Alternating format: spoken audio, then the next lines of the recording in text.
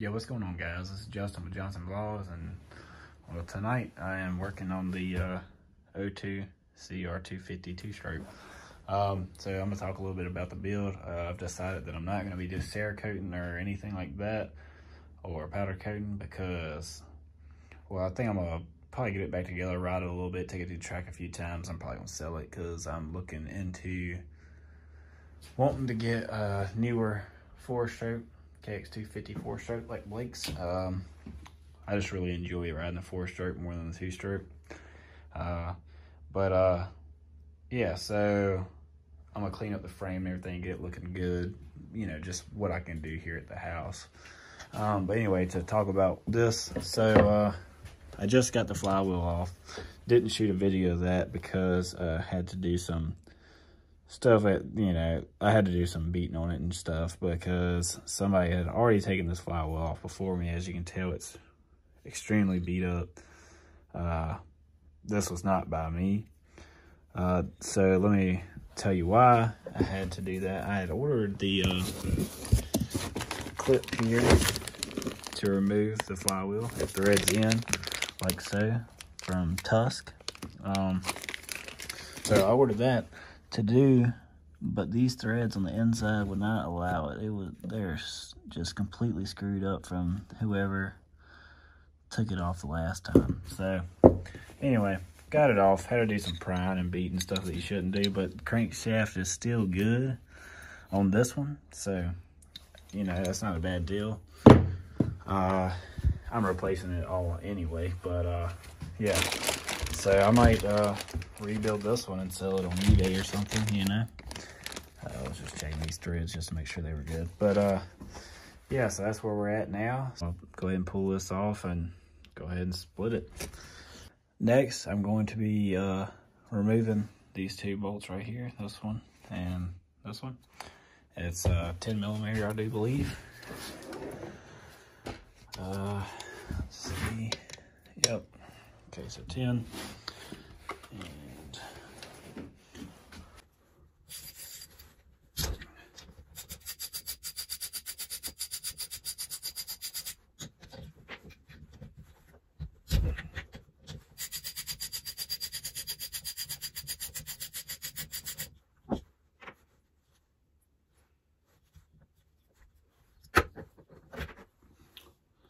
All right, guys, so I took out those two bolts right there and uh, the magneto is out. Um, everything all right, I guess. So, uh, yeah, that's out.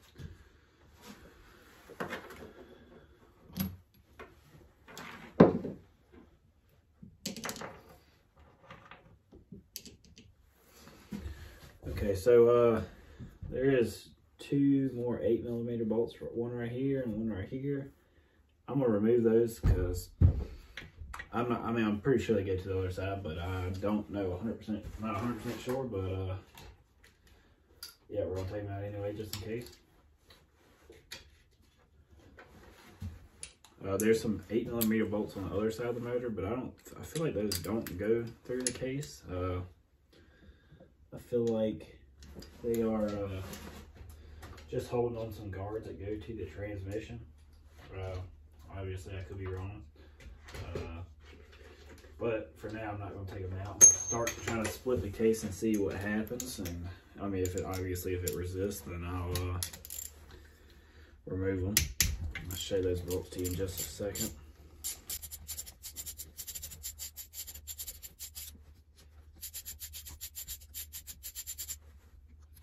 yeah, that definitely went through. Um, so there's one more. So I just put the uh, the new crankshaft in the freezer. Uh, if you don't know what that does, it uh, like helps shrink the metal a little bit. Uh, it helps for easier install. Uh, on what I've read and you know looked up, obviously that like I've said before, this is my first time ever pulling a motor down like this. You know, I've only done like casual maintenance stuff and that type of stuff. So, you know, this is all new to me. Um, but yeah, I'm just showing you, you know, how you could do this yourself. All right, got those two out. And uh, so over here, these are the bolts I'm talking about.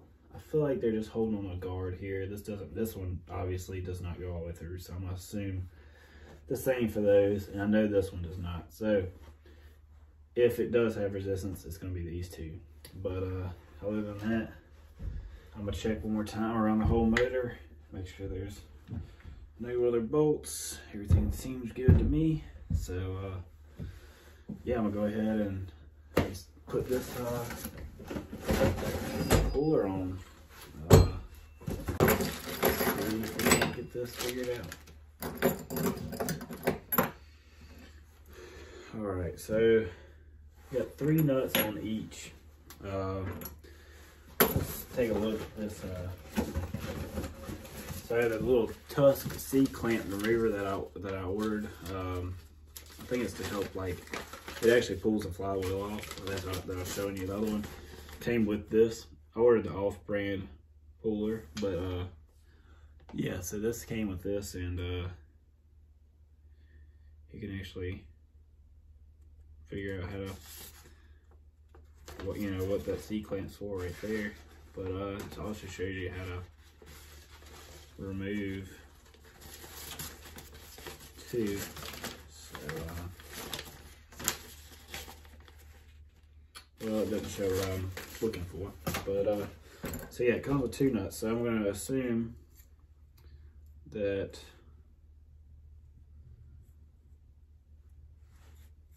so this is what I'm going to do. Uh, could be wrong. We'll figure it out. Uh, I'm gonna take this nut, I'm gonna thread it on like so.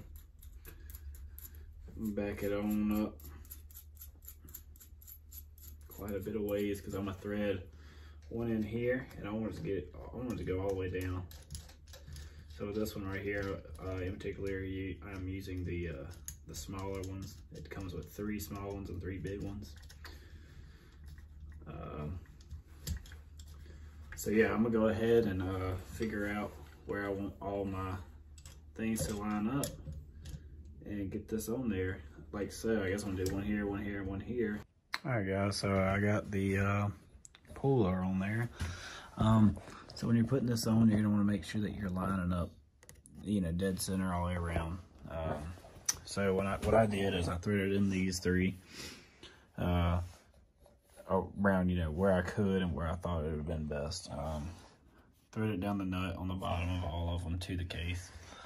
And uh, did it tighten it just a just a hair not a whole lot. And then I uh, backed out back down this one on the bottom all the way around and then put the ones on the top so it holds it completely in place. So uh, if you have a rubber hammer which you should when you're doing this you should take it and hit right here a few times to make sure that this isn't seized up I do not have a rubber hammer, so I'm going to take a uh, regular hammer and uh, I'm going to find a beaten block, uh, just like a dead block, to tap it a few times just to make sure it's not seized up. Give it a few taps.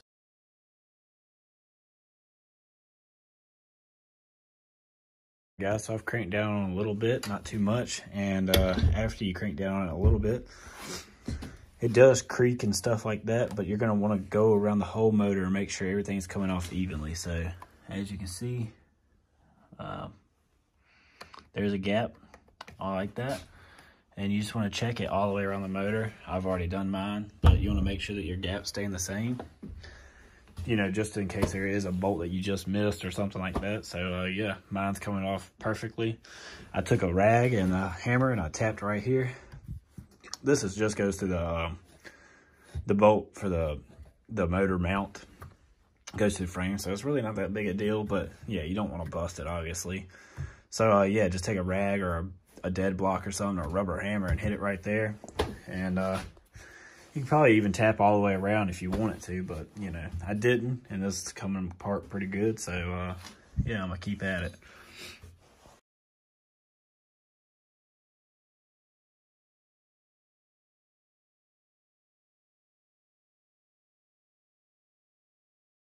so that really wasn't too bad. Uh, got it, got it off.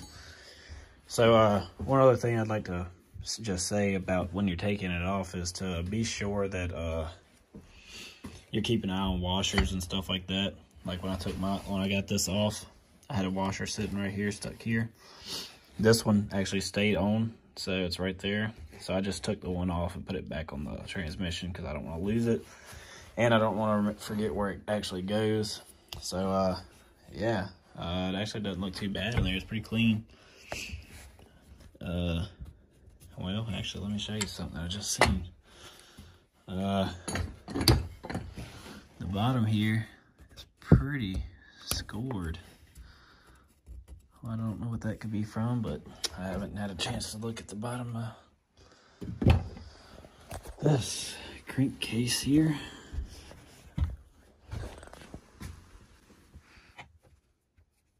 So I don't really see, it must have had something get into the motor, I would assume, to do that. So I know this probably isn't recommended. Well, obviously is not recommended, but I'm gonna use the same gaskets. I don't feel like ordering them. Uh, not that I, I'm cheap or anything like that. I just don't feel like waiting. I should have already ordered them if I was gonna do it, and I hadn't. So, uh, yeah, I'm just gonna use this one. It doesn't look bad at all, actually. I know somebody's messed with this engine before because uh, of how bad the flywheel looked, and this is a hot rod shaft in here. So now I'm gonna see if I can't uh, push it the rest of the way out.